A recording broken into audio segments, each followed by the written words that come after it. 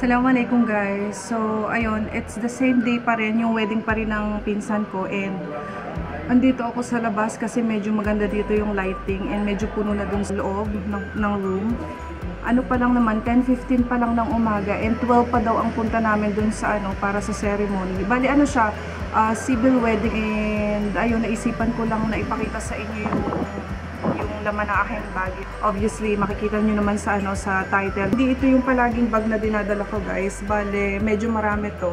Usually, ano, maliit na bag lang yung dinadala ko. Pero dahil nga may, ano ngayon, may occasion ngayon, medyo marami yung dala kong gamit.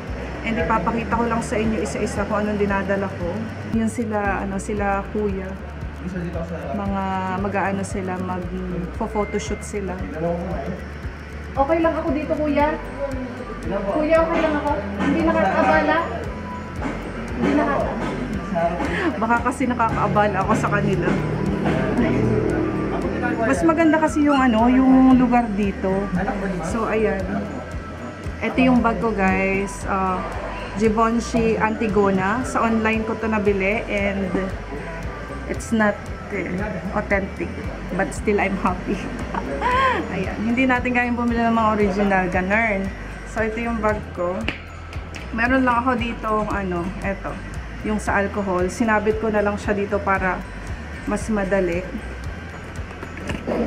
Then, punong-puno to guys. Ayan, punong-puno ng gamit. So, meron ako ditong face shield. Ito, kailangan. Andito yung aking Huawei na phone. And then, nagdala pala ako ng tumbler guys. Ito yung sa Starbucks. Ayan. Kasi nga, maaga pa ako kanina dito, 8 o'clock. And, sorry! Sabi ko na eh, nakaka-abalo tayo eh. Andun sila. Ayan.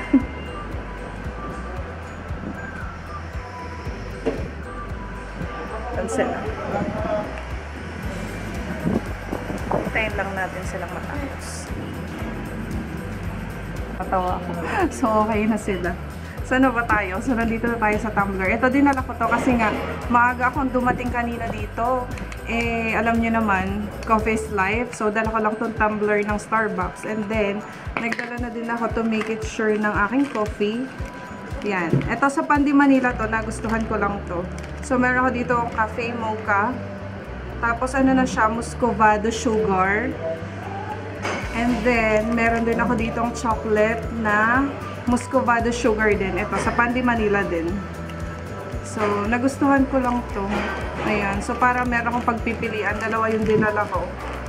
And, pagka umaga, guys, nakadalawa na akong kape. May extra pa rin akong dala. So, yan. Next naman, eto ano lang to, um, cologne. Inilagay ko lang din to sa ano, ito parang sa lalagyan ng alcohol, ayan. So, sineparate ko lang kasi baka mamaya nag pe-perfume ako is alcohol yung mailagay ko. So, ito, cologne lang yan. And then, meron akong pen in case kailanganin. Of course, yung aking face mask na gamit kanina. And dinala ko din pala tong extra nails. Ito yung gamit ko ngayon. Guys, ano to, sa Lazada ko to nabili, pero nakalimutan ko na yung ano, yung link nito, hindi ko na alam kasi stock ko lang to sa bahay and basta i-search nyo na lang ano, Lazada or Shopee fake nails and marami na kayong makikita doon. Mura lang to, parang 60 pesos lang plus shipping fee. So dinala ko in case na matanggal yung ating kuko. Nagdala din tayo ng ayan, extra pads. Meron din akong extra na face mask. Ito. In case na kailanganin ko or may mga ilangan, at least meron akong may ibigay. Ito yung cover ng camera. Ayan. Then, meron lang akong dalang sunglasses. Ito. Sa ano ko lang to nabili? Sa SM Department Store. Ayan. Simple lang. Hindi ko alam kung anong brand nito. Medyo matagal na din sa akin. Ito pala yung ano ko, yung pang sa mask. Yan. If you're wondering kung paano ko sinusuot yung face mask ko. So, sa ano ko din ito nabili? Sa Lazada. Ayan. Singit mo lang siyang ganyan. Ganyan. And then, si bride naman yung nandito.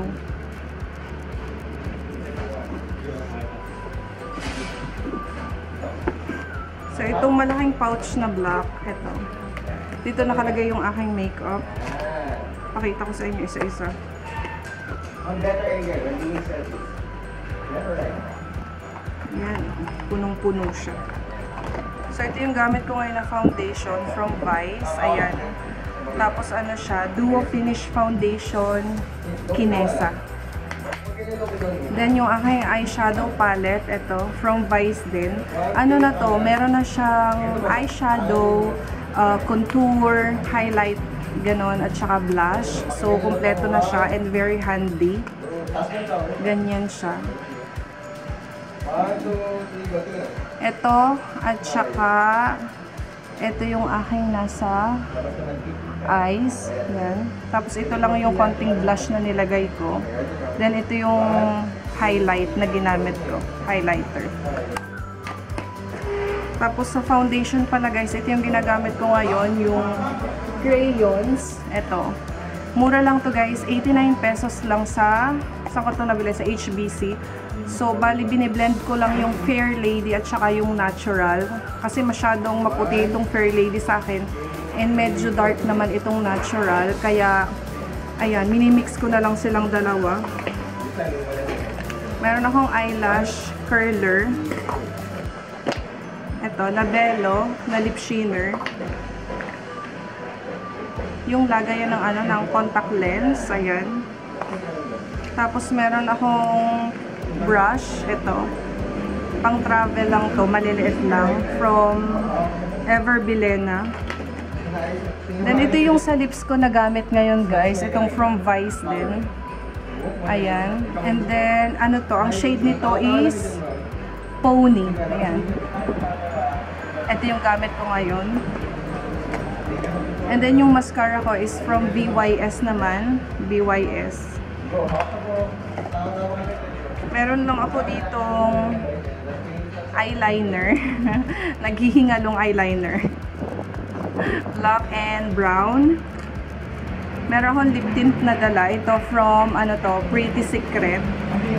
Sa Watson ko naman to nabili. Meron tayo ditong breath spray. Ayan, from Fresh. Meron akong dental floss. And then, ito from ano to? Uh, Quick Fix. Meron ako ditong sunscreen. Then, yung tinted moisturizer nila.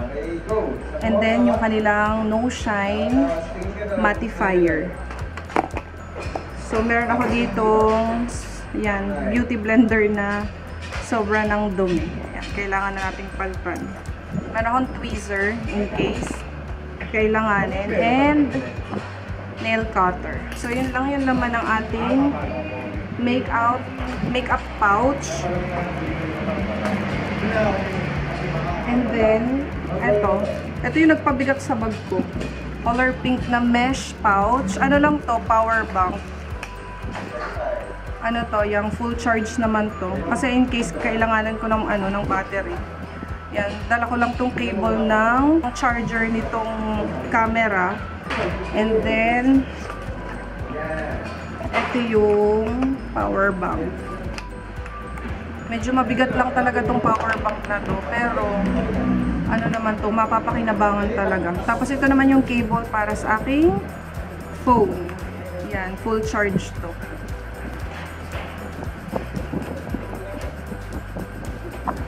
And then, ito lang yung dalawa kong wallet. Malet lang. Ayan. So, dito, sa malet na wallet, meron lang ako dito onting cash. Ayan. Konting cash dito. Meron ako ditong prepaid card. More cash. At saka coins. Ayan. Then ito yung card holder ko na gamit. Ito. Dito lahat ng aking cards. Ayan. Maliit lang. Cards, ID, ganun. So, yun lang naman ang laman ng ating bag. ang dami, no? Hindi, hindi halos laging ganito yung dinadala ko kasi hindi naman ako ma-makeup na tao. Kaya lang today nga is my wedding and kailangan nating mag-ayos. So, meron akong dalang extra na ano dito, makeup, ganyan. And maaga pa. Yung bride naman yung nagpo-photoshoot doon. yung doon sa kabila. Ang ingay-ingay ko dito. Sana hindi ako nakakaabala. so, ayun guys. Ikakat na natin ang video natin. I hope na nag-enjoy kayo sa panonood ng ating video.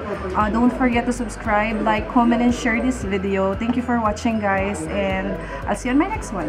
Bye!